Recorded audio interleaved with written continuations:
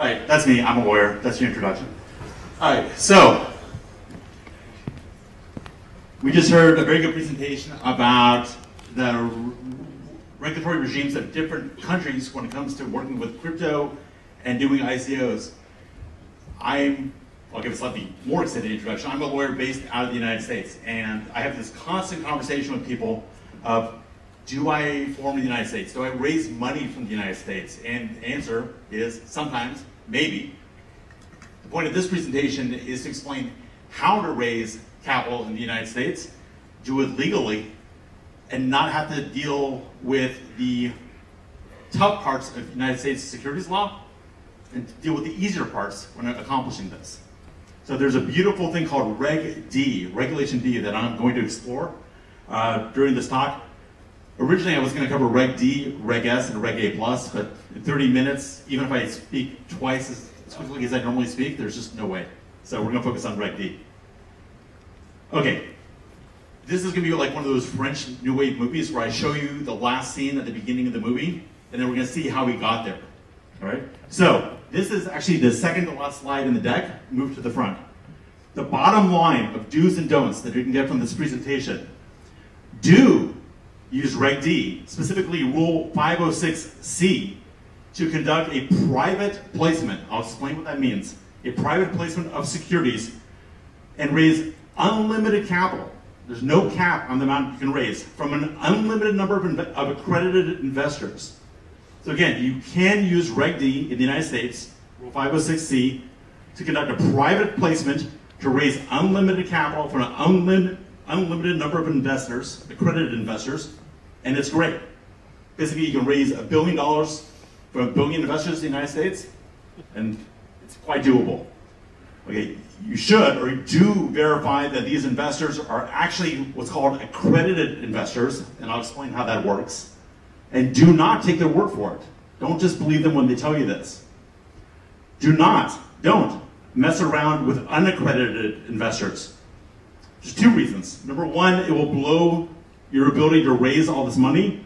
Number two, they don't have any money. Why bother in the first place? Stick with the people who have money, which are accredited investors.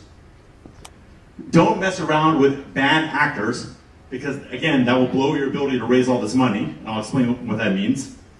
And when selling securities and living your life, don't lie. Tell the truth. That means don't make any misrepresentations of material facts or omit those facts when selling securities. Okay, that's the conclusion of the movie. Let's go. No, Okay, we'll keep going. Okay, let's just take a big step back. Why raise capital in the first place? Why not just sit in your basement, program the next Bitcoin, and retire? Well, sometimes you can do that. But for the most part, whether you're doing a blockchain startup or a traditional brick and mortar, you need to bring resources and people and other ingredients or elements to, to, the table to make that enterprise, to make that venture work. This model is true whether you're starting a business or whether you're starting a blockchain platform you have this opportunity, you have this enterprise opportunity that's risky. It's not accomplished yet, or it hasn't accomplished all its goals. You have enterprise opportunity plus risk. What do you need to do to make this thing work? Well, you need to someone to come up with idea and organize it. That's the entrepreneur or the management. Need people to do the work, whether that's labor, automation, processes, or actual other work. You need productive assets. It used to be land or buildings. Things have changed. Maybe you need intellectual property. You throw that, use that to sort of bake the enterprise uh, opportunity pie, and hopefully what comes out when you're done is it produces goods, it produces services, may produce technology, intellectual property, or tokens, and it sells those things. Now, the missing ingredient on the left-hand side is nine times out of 10, that's great, but that's not enough. Nine times out of 10, you need capital, you need investment dollars to bring these inputs to life so that you can produce these outputs. And it's nice that everyone has like their college savings built up, but most of the time you have to get money from people who are not actively participating in the business, but who want to give you money so they can take advantage of the business's success. Those people are investors. Well, actually, it's either banks lending you money, which I don't technically are securities sometimes, but we're not going to talk about that. Sometimes you can get loans. Anyone here getting a loan for their blockchain startup? I think I see some raised hands. That's impressive. Most banks I know will laugh if you say that. Most of the time, you're getting investors, people, or funds, or other companies that are putting in capital, that are putting in money or money equivalents into the enterprise so that these things have a chance of working to produce those results. And as a side effect, though really it's the main point, this business is producing profits and or, because we're now in the world of blockchain, depreciation of assets such as tokens. So investors are either making their money or their benefit from getting profits, or because the tokens that they bought as part of this investment go up in value. So this is why you raise capital in the first place. It's an essential ingredient for making everything happen. Okay, there's two modes that I see again and again when it comes to investors putting money into blockchain startups. The old days when they were just buying tokens or SAFTs are kind of gone. And by, by the way, is I'm gonna put everyone on the spot. Does everyone know what a SAFT is? Does anyone not know what a SAFT is? You're awesome. Because I think everyone else, half the people in the room should have raised their hands, maybe? Okay, a SAFT is a simple agreement for future tokens. What investors will do is they'll give money to a company so the company can build its operations, and rather than getting stock, rather than getting equity back, they get a promise to receive tokens once the platform is built, with the idea that they can then resell their tokens for a profit. It's a simple agreement for future tokens. It's based on an earlier form of agreement called a simple agreement for future equity, a SAFE. So uh, Marco, who's last Santori or something from the Cooley firm, uh, developed the concept of a SAFT, got a whole bunch of firms to use it. Uh, then Cooley said, oops, we don't want all this risk, at least this is what I hear. Marco went to join a startup, but SAFTs are still out there. So investors, when they put money into a startup, there's two modes of this, of them getting something for their investment. You have investors, they put in capital into the enterprise opportunity, and they want to benefit from the profits or the cash flows of that business or opportunity, they normally get equity or shares. They get some interest, some ownership interest in the underlying company. And that routes back to the investors.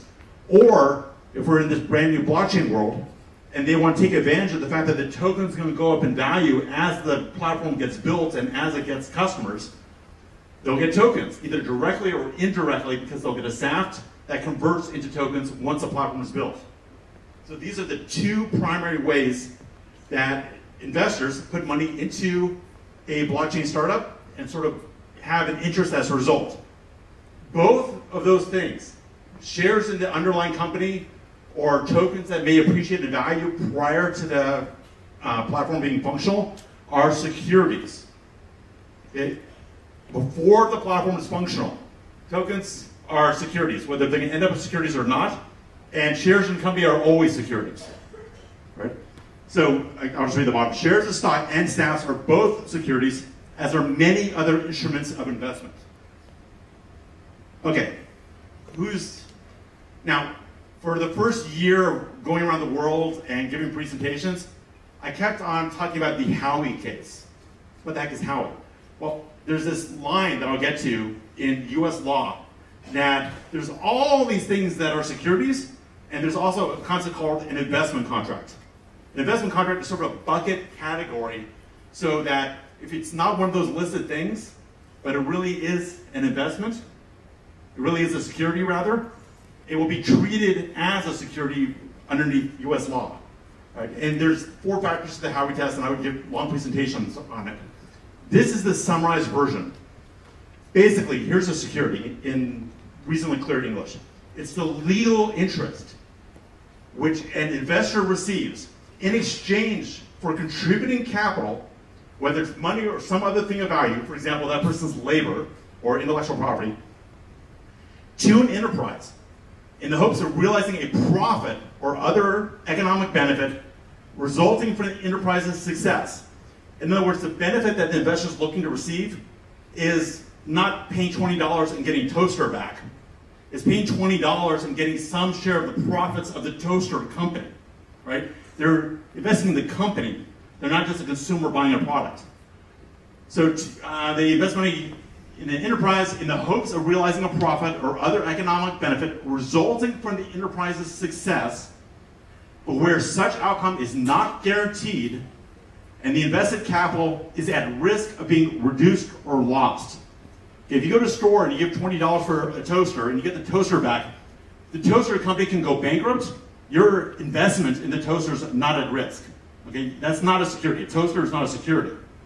But if you invest in the toaster company and it goes bankrupt, your investment's at risk. It's that element of risk that makes a security a security. That's why it's enterprise opportunity plus risk. Without risk, it's hard to say there's a security. Okay, so the short version of the short version is a security is an investment contract. Okay. Selling securities is scary. Uh, we just heard the last presenter go on in good detail about all the different countries and all their different legal regimes. Every developed economy on the planet, in other words, every economy that has money that you want from investors, has complex laws in place regulating the sale of securities. The countries that don't have complex laws don't have any money. Okay, there's a correlation there because they really don't have as many people to protect. The United States, especially uh, because of the U.S.'s history and the stock market crash of 1929, has a reputation for our securities regulation being extremely complex and punitive, meaning punishing. It has that reputation. I'm not, I'm not saying that's correct. And every country has an agency or organization that regulates securities within that country. In the United States, it's the Securities and Exchange Commission, the SEC. And the SEC itself has a reputation for being very aggressive in protecting U.S. investors. And the SEC, when it looks at, its uh, jurisdiction, in other words, where it's permitted to act, from its point of view, if a rock falls in Zimbabwe and 10 years later U.S. investors hurt, the, the SEC thinks that it's, that it's the SEC's business to handle that issue. In other words, they don't respect U.S. borders. Or at least they have that reputation, I should say. Okay, so, wow. U.S. law is complex and difficult, it seems, and the SEC is aggressive. Why bother with it? Why? You know, there's all these ICOs that say, oh, if you're a U.S. person, you can't get, get involved with this. Oh, no, we're just going to stay away. Well, here's a reality check. I mean, China is not allowing ICOs right now. The, national, the largest national economy on the planet is the United States. It's also the deepest and largest capital market. It's not just the biggest economy, it's the place where the money is available for the purposes of being invested. US investors want to invest in blockchain projects, and they do. I worked on several deals where millions of dollars have been put into blockchain projects. You just need to do it right. The money is there, and people want to invest. Also, and this is a little bit more subtle, your token sale, your ICO, is a public relations and marketing event. Okay, assuming you're selling a utility token and you want your platform to come to life, it's not going to come to life if no one's using it. Okay, you, you need to let people know about what you're doing. Well, if you leave out all the consumers, all the users in the United States, even if you ignore it for investments, you're going to have a real problem. Because your competitor, who's not afraid of raising money in the United States, will go ahead and do that, and they'll get all the, that money and all that capital. And I'll go into detail about this, but US regulation of securities actually isn't that bad. Because even though the default rules are strict, there are many exceptions and exemptions from the default rules right? So it's like it's like getting a 10-year jail sentence and then getting 11 years off for time served. Okay, I can live with that. Okay, I'm glad, I'm glad that resonated. Okay, am I going too fast? I'm, okay, he thinks it's okay. Too fast, too slow, thumbs up, thumbs down. All right, good. All right. I worked at 2 o'clock in the morning on this graphic. I want you to appreciate it. This is the best I could do at 2 o'clock in the morning. Everyone else was drunk. They were loud, it was German, it was Russian, I didn't hear any English. This is what the result. Okay? So, after the stock market crash of 1929, the US said, we should probably do something about this. So they implemented five core laws that form the basis of securities re regulation in the United States. This is the core. And those two at the top are related. Most countries have one core law governing securities. The US had two. Why? Well, we had the Great Crash, and we were about to fight World War II, and everyone was kind of busy, so they, kind of, they couldn't get it all done at once. The two core laws are the Securities Act of 1933, generally referred to as the Securities Act. That's how everyone refers to it. And there's the Securities Exchange Act of 1934. The reason I have a line between them is they can really be considered from, from a sort of meta perspective to be the core laws that are really the law. Okay, Securities Act of 1933 and the Securities Exchange Act of 1934. Uh, now there's three later, lesser laws, depending how you want to say it, that are very important, but they're more niche. There's the Trust Indenture Act of 1939, which covers the sale of bonds, i.e. the sale of corporate debt. There's the Investment Company Act of 1940, which generally is, say, mutual funds, but though not always that. Then there's the Investment Advisors Act of 1940, which is people who receive money for giving advice investments. All these five are all connected and they form a web of regulation and statute that if you look at them all together makes some sort of sense. But the main ones to focus on are the top two, the Securities Act and the Securities Exchange Act. And for this presentation, for a reason I'll explain in a second, we're going to focus on the Securities Act. Okay, let's say hello to the Securities Act.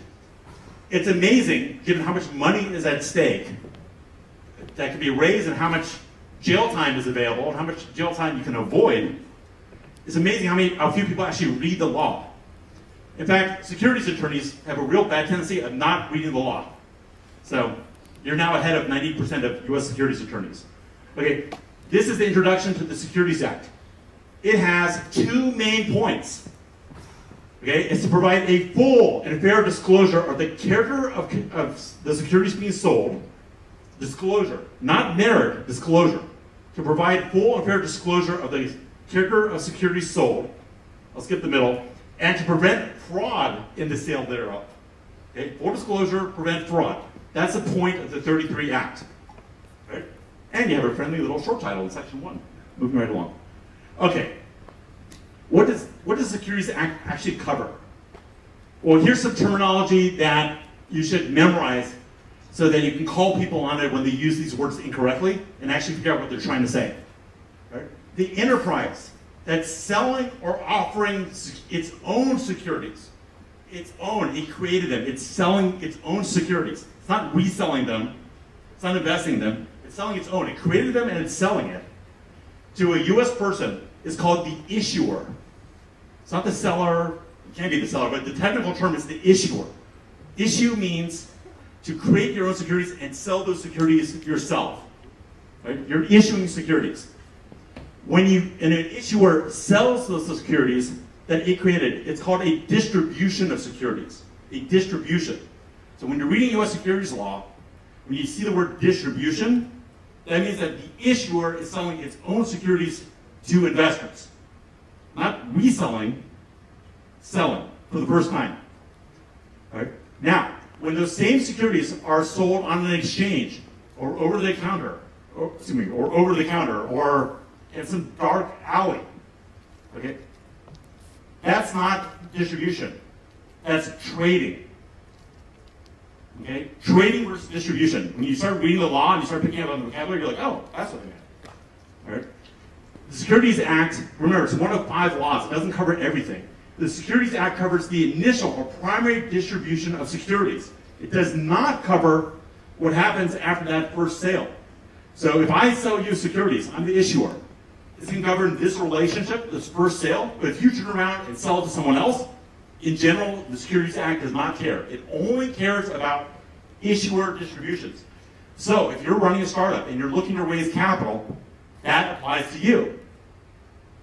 Okay? That applies to you. You're selling your SAFTs or your tokens, or you're selling your equity yourself to raise money for yourself to your investors.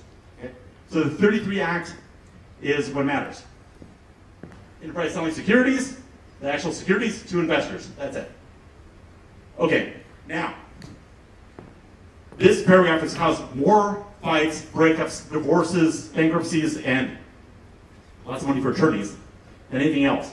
This is section two of the 33 Act. It's so friendly. You have definitions. If you want to look something up, it's in section two. The very first definition is a security. Wow.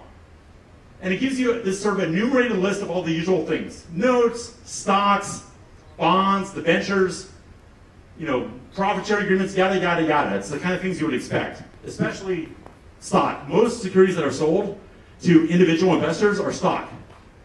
There's also this concept I mentioned earlier of an investment contract.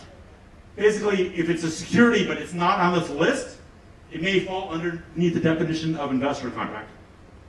Uh, the reason I have an orange there is because the Howey case that actually figured out what an investment contract is was about the sale of orange groves. In other words, land that was being used to raise oranges.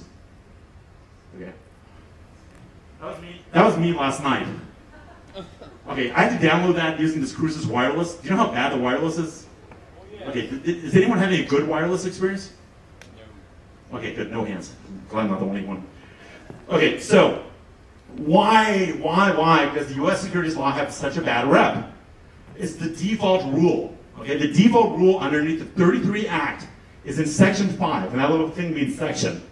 Okay, the default rule is that very top thing. That's why this guy's so upset.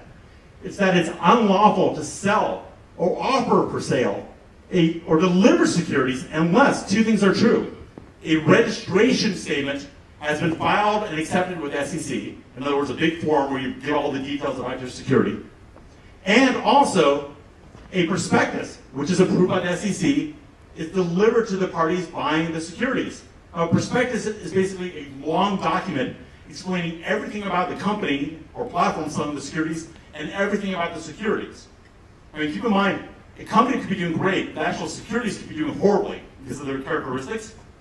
So a prospectus is a written document that gives all the information that a buyer of securities needs to receive in order to have, from the first part, full disclosure of the characteristics of that security.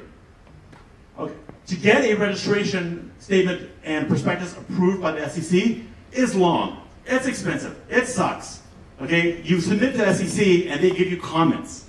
Then you have to respond to the comments. Then they respond to your comments responses. It goes on for months and months and months. Six months, a year, millions of dollars later, you'll get maybe an approval. Okay? This process of filing and getting a registration statement into effect, that's the term when the SEC approves it, and also getting a prospectus that's approved, is called going public. All right, going public. And it, uh, when you first do that, it's an initial public offering or IPO, which is what everyone did before ICOs came around. Right? If you're Apple or Google, do an IPO. But 99% of the time, forget IPO. You just want to get in some investment money, do it fast, do it easy, and move on. Okay, thank God. Here comes, here, here, this is the beginning of the good news. So Section 5, it requires registration statements and prospectuses approved by the SEC. Ugh. Well, thank God we have Section 3. Section 3 is exempted securities. Right? Some securities, even though they fall underneath the definition of what a security is, are nonetheless not subject to 33 Act at all.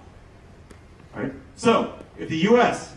or any territory thereof or U.S. state sells a security, it does not need its approval from the SEC. So if California sells bonds, it doesn't go to the SEC and go, please, Mr. Federal Government, can I please sell bonds? They're like, we're state, we get to do this. Okay, here's an interesting one. Any security issued by a nonprofit where none of the nonprofit's net earnings are inured to the benefit of a private foundation. Now, I think we're all familiar with the Ethereum Foundation and the EOS Foundation. Now, they're set up outside the United States, at least Ethereum is. You could theoretically set up a nonprofit in the United States, issue securities, and so long as none of the profits go to the people related to that company, be fine. Okay? Did, tokens go up in value because the nonprofit's doing a good job. That's not really profits going to the investors. That's appreciation of something they bought before. Right? So just think about the fact you may be able to set up a nonprofit in the US and escape from this entire registration requirement.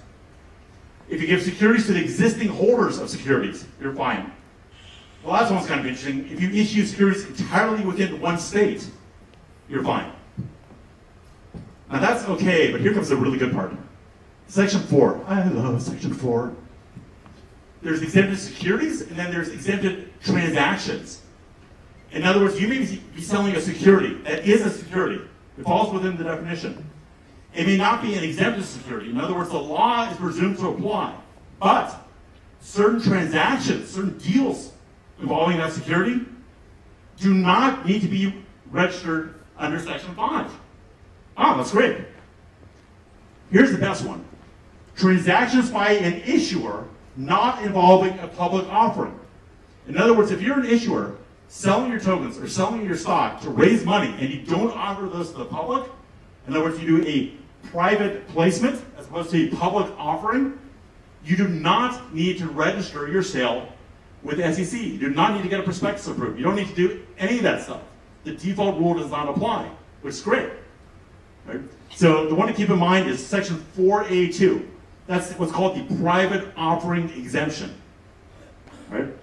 Now, just, just consider that there's lawyers involved. Does anyone really know the line between a public offering and a private placement? You do? If you're hired. And I'll see you in jail and I'll bring you cookies and not a file. Okay. All right. Um, actually, I you know, give it a shot. You can use him as your lawyer, just don't ever catch foot in the United States. Okay. So, what, where, where's the dividing line? Well, there is a punchline to this, but until that punchline came around in 1982, the courts fought it out. And there was not a clear test, because the words themselves are vague, but they took some factors into consideration, and even though things have sort of moved on, these are important because they still play a role in the background. Well, obviously, if the offer is made to a relatively small number of sophisticated individuals, like five, ten, who knows exactly, but a small number, that's not a public offering. Okay, well that's good. If there's no general solicitation or general advertising of the offering by the issuer, in other words, you're not on late night television after the infomercials going, hey, buy my stock, it's $2. Okay, can't do that. Okay, that's a public offering. All right, here's an interesting one. The issuer provides either an offering memorandum or there's sufficient public information about the issuer. In other words, in other words if you do adequate disclosure, well, you know, theoretically, you could still be selling to the public with adequate disclosure, but the court said if you provide enough information and you're accurate, you tell all the material information, you don't leave anything out, then we'll give you a pass. Okay, the investors know the issuer. It's your cousin. It's your business provider. It's a prior investor. Okay, that's private. That's not public. Right? If they have access to management to ask questions before the sale. Here's the key one. The investors are looking to buy the securities and hold on to them for the long term as investments. They're not looking for a quick resale. Okay, if they're looking for a quick resale, you might as well be selling to the public because God knows who's going to get those securities later. If they're going to hold on to them for a while, then it's not public. And if the transaction is confidential, you sign NDAs, you number your documents, you only let certain people see them. Well, that's pretty clear that's private and not public. All right. That's all great, but it's hard to apply those factors and know for sure that you're safe. And the U.S. was going to the SEC, and everyone else going, uh, thanks for helping us pay our lawyers millions of dollars for not giving us a straight answer. Can you please do something? So in 1982, which is quite a bit of time ago, but quite a long time after the 33 Act came into effect, the SEC came out with Regulation D. Okay? Laws are made by Congress, the 33 Act, the 34 Act, regulations and rules are made by the SEC. Okay, the SEC came out with Regulation D. Regulation D is really the name for a cluster of rules. There's Regulation D, and there's eight rules within Regulation D. Rules now, uh, 501 through 508. And these rules, when taken together, provide what's called a safe harbor. In other words, under 4A2, if you comply with those rules, if you live within those factors, you're probably safe. You probably have a private offering. But do you want to know for sure? Do you want to know without any doubt that you have a private offering and you're safe and you don't need to register? Then you can comply with Reg D. Okay? If you comply with Reg D, then you're exempted from registration under, reg, under Section 5. Woo! Okay? And these safe harbors in Reg D are based on Section 3B, which we didn't cover, but they're also based on section 4A2, which we just did cover. In other words, it's articulating with more detail what a private offering actually is. Okay, within all the exemptions in Reg D, we care about Rule 506, okay, which relates to private placements. Okay, I, am not touching the 3B ones. All right? And then in 2012, the Jobs Act changed Rule 506 and made it awesome. And I'll explain how awesome it is. You want to use the new Rule 506C specifically. Okay, there's all these general rules uh, that apply to everything in Reg D. I'm not going to go into detail, but 501, 502, 503, 507, and 508 apply to all Reg D. Okay, now, Rule 506. This, this is the key to the kingdom. Okay, there's two variants that matter when it comes to Rule 506. There's variant B and there's variant C. Okay, but these, both these variants share some common characteristics. Okay, in 506 in general, this is a private placement under Section 4A2, meaning it's exempted from Section 5. Okay? There's no, if you do an offering under Rule 506, there's no limit on the amount of money you can raise. There's no limit on the number of accredited investors. Note that for it to work, you need to file a Form D with SEC, I'll cover that. Note that there's this new rule that you cannot involve anyone who's a bad actor. Okay? And I'm not talking like Justin Bieber in his first movie, I mean like security's securities law bad actor. Okay? The resulting securities that you sell at 506 are restricted. They want to make sure that people are actually buying them and hoarding them for a little while and not just dumping them on the market. And the management is available to answer questions. Those are common requirements for B and C. Okay. Now, let me cover those, those common uh, requirements in a little bit more depth. Throughout U.S. securities regulation, there's the idea of an accredited investor. The whole point of the Securities Act is to protect, you know, there's an expression like a fool and his money are easily parted. The idea under the securities law with accredited investors is that if people have enough money, even if they're stupid, we're going to assume they're smart, or at least they can hire people who are smart to help them. Okay, so accredited investors you can be accredited investors based on several things. You can have annual income of over 200,000 or over 300,000 with your spouse over the past two years. You can have a net worth exceeding 1 million. You can be a general partner or officer of the issuer, because the idea is if you're working inside the issuer as an officer, you should know the company that's selling the stock because you work there. There's certain defined entities, like private business development companies with assets over 5 million, they should know what they're doing. They shouldn't need the SEC's protection. Right? There's an investor who can demonstrate sufficient professional knowledge of unregistered securities. I wouldn't trust that at all. I, that's not objective. I don't know what that means. There's registered brokers and investment advisors, i.e., under the Investment Company Act or the Investment Advisor Act, they automatically qualify. And there's other categories. You want accredited, accredited investors. Okay, they have the money. all right, this is what a Form D looks like or the top rather. You'll never see a US form this short, ever. Okay? Notice the name of the form. It's notice, I guess I use notice twice, notice of exempt offering securities. It's a notice. It's not a please approve me. It's not please can I have that cookie. It's notice. Notice of exempt offering. Okay? The SEC is not approving a Reg D offering. You're just letting them know that it's happening. Okay, now here's the bad actor thing that's common to both 506B and 506C. Okay, if you want to do a private placement of securities under Rule 506, you're doing this because you want to be exempted from Section 5 and the need to register securities. Well, the issuer, not the buyers, the issuer has a whole group of people that are called covered persons. There's a whole class of people. And the question you need to ask and what you need to investigate is, did any of those covered persons have what's called a disqualifying event. Okay? If the answer is yes, you got a big problem, and that's an unhappy face.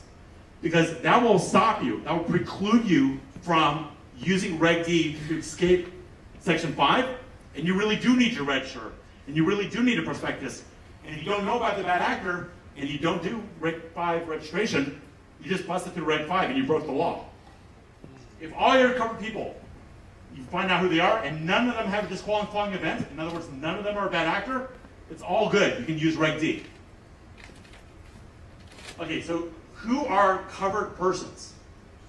There's a whole list. It's basically the issuer, its predecessor, meaning the companies that came before, and affiliated issuers, the officers or managers or managers of the issuer, anyone who owns 20% or more of the issuer, and anyone who gets compensation, i.e. a commission for selling the stock.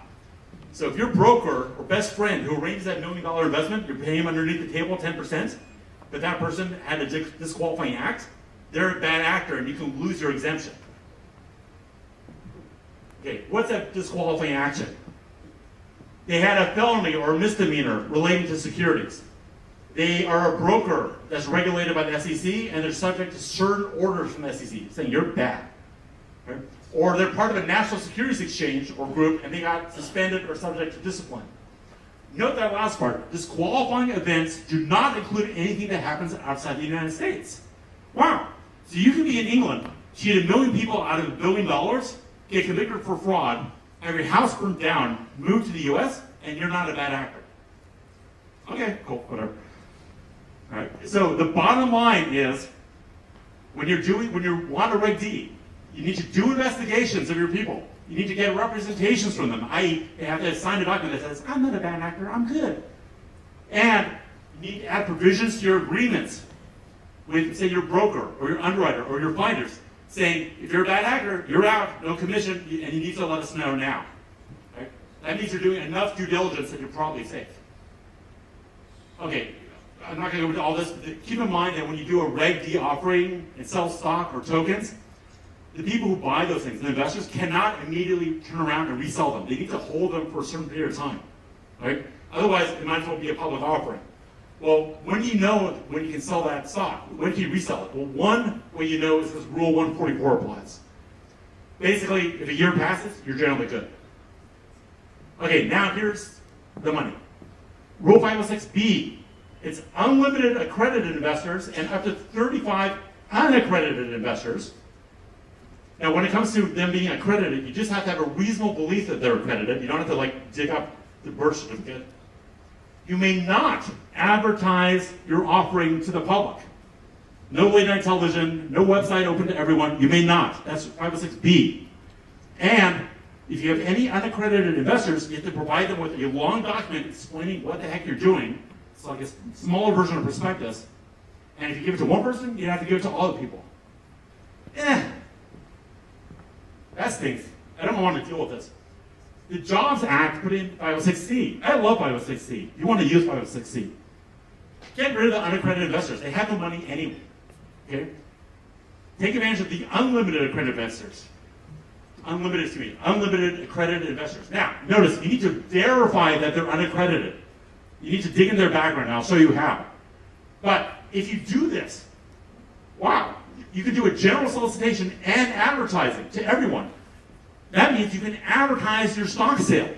You can advertise your SAFT sale. You can put up websites. You do not need to limit access like you do with 506C. You don't need to know the people that you're selling to. So that's kind of weird because if you look at 4A2, which is the basis for 506, it's called the private offering exemption. How can you have a private offering exemption when you're allowed to advertise and solicit to the whole world? The answer is under U.S. law. Okay, cool. So POW. Right? They don't get that. That's like huge. You can advertise to the world and sell your tokens and sell your stock so long as you're only selling to accredited investors and you verify that they're accredited. In other words, you can reach out beyond your immediate network. You can reach the world and raise money. Okay, how do you know that they're accredited? There's all these factors, but basically you need to dig in. Okay, they need to answer questions. You look at their public information. You can look at their tax returns. You can look at their brokerage statements. You can get their accountant to say that they are. You can get a third-party service. I think there's like accreditedinvestor.com. So long as you have a reasonable belief that they're doing their job, that's good. You need to verify. Okay, now, here's the last final note on 506C. The mandatory disclosure that's associated with 506B does not apply to 506C. You do not technically need to provide a big complex document explaining what the heck you're doing. Nonetheless, I, I don't want you to register, uh, do a registration statement with SEC, but nonetheless, if you're taking advantage of 506C, even though you're not required to do it, I strongly suggest that you give them that document. You can call it an offering memorandum, you can call it a private placement memorandum, or a term sheet.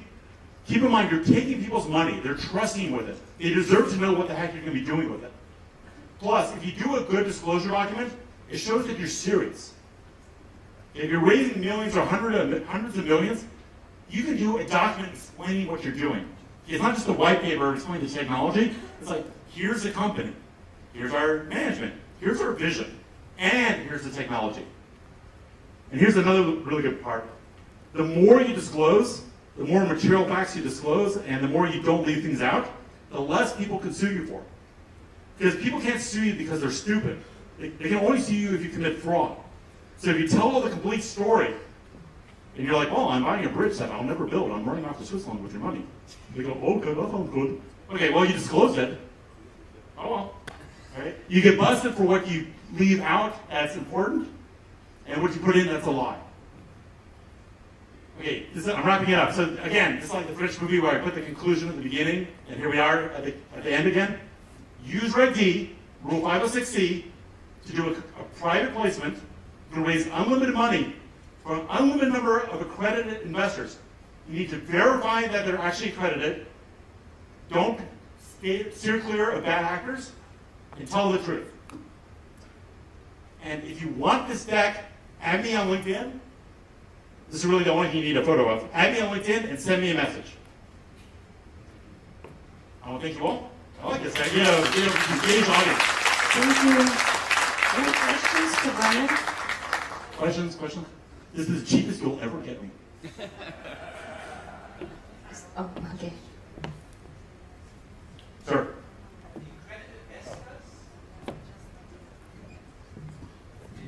Did I understand correctly? The accredited investors are US persons, and then you can advertise to, to the whole world, and then it doesn't matter whether they're accredited or not? It's a good question. I actually can we put back the prior slide just so people can get the deck? Great.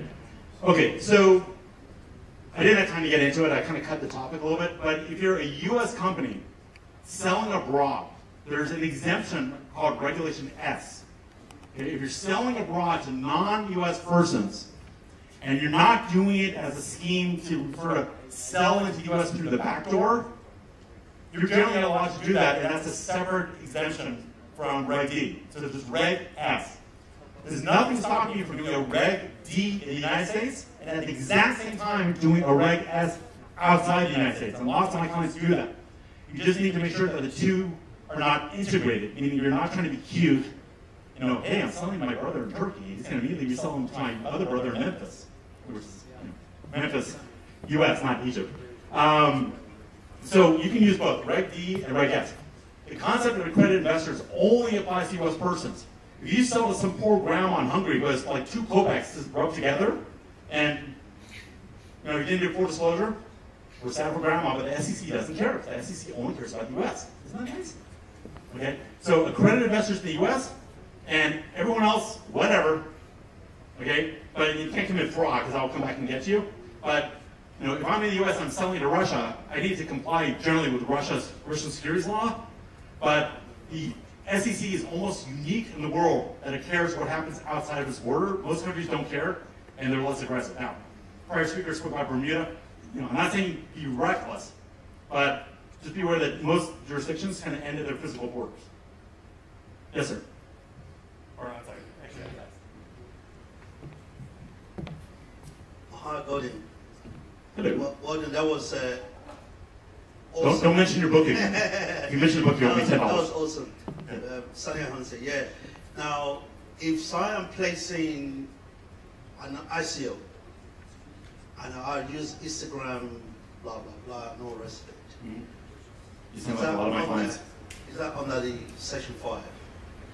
If you're, okay, you you don't technically place an ICO. So suppose you have tokens that will eventually be utility tokens once you build the platform, but they're not yet. So you're selling SAFTs, Simple Agreement for Future Tokens. And you're doing a Reg exemption, and you're doing it under Rule 506C. Okay? Yes, you can advertise on Instagram. for accredited investors only, we have this opportunity, come here. And you need to make sure when they buy, they are actually accredited. And if someone goes, hee, I'm unaccredited, I'm so sneaky, and they try to buy, well, you, you need to verify their status. That's on you. Okay, but you, if you reject them, then you're not in trouble for having advertised to them. It's not that advertising gets you in trouble. It's only if they consummate the sale of or the purchase of securities when in fact they're unaccredited. So you can put it on Instagram, you can put it on Facebook, you can put it on MySpace. You can do whatever you want. And tell the truth, it don't actually sell to unaccredited. Okay? And it's on their Hello, Gordon. Thank you so much for detailed speech about the regulations. One question, if, for example, we already issued the preferred shares under regulation of the United States and Security Act, do you help to find the way to find these accredited investors who is investing in blockchain startups with a pleasure? So, like, how do you undo that little incident? Okay, yeah, that's common. Don't worry about it. I mean, do worry about it, but there's lots of company in that in that world. All right. So, suppose you don't know about all this, okay, and you sold securities and you didn't register. Okay. The I'll give you the real life. I'll give you the legal answer, the real life answer, and how they interact. Okay, if you sell someone some stock for a dollar, okay, and the stock a year later is trading at five dollars, even if you didn't disclose every little thing, right, it's unlikely that that person is going to complain. Even if you committed fraud and is selling it at five dollars, and they can sell for five dollars, you shouldn't have done that, but it's unlikely they'll complain. Okay? If you if like what's happening a lot, you sell all these tokens or agreements for future tokens, and the value goes down, people are motivated. All right, they're going to do two things. They can either sue, and or they can complain to the SEC. Okay, if they sue, um, Section 12A of the Securities Act uh, allows them to do something called rescission. In other words, give me my money back. They, they can undo the agreement. Now, if the price of the token is going down, or price of Bitcoin is going down, the company that's having to give back the money may not have that money anymore, and that's a big problem. And so you're opening yourself up to rescission. Also, the registration requirement under Section 5 is not optional, it's mandatory. It actually says it is unlawful to do this. It's technically criminal. Okay, now in real life, barring active fraud, the SEC, well, the SEC is a civilian agency, it's a civil agency, can't put anyone in jail. But what it can do is an active fraud, like Bernie Madoff. You can refer to the Department of Justice and they'll bring criminal charges. But that's, you have to be really doing fraud. Okay? What they're generally going to do is bring a civil or administrative action against you. They can send you a cease and desist letter. Okay, they can order you to you know give the money back to people, and the mo- when you start getting involved in those things, you're a bad actor. You're disqualified for the future, and you're in a long legal process that's painful. Okay, so what you know? Oh my God, I'm scared. What do I do? Okay, look. You, if some guy donated ten dollars and he's unaccredited, just give him his money back. Oops, sorry, mistake. Here's your money. Sorry. Here's two dollars for your trouble. Okay, just forget it. Okay, some guy put in a million and he's US. Well, if you put in a million, probably in real life, he's accredited. So you can say, I've done this, you can say, look, you have a choice. I can either give you back your million, okay, or you can provide this documentation showing that you're accredited. Which would you like? Okay, now some people are to want their money back. but If you're doing a good job, they won't. And you say, you know, or you can say, look, for everyone who proves that they're accredited, we're going to do a token swap to the workable tokens. And for everyone who doesn't do it, here's, here's your not workable tokens.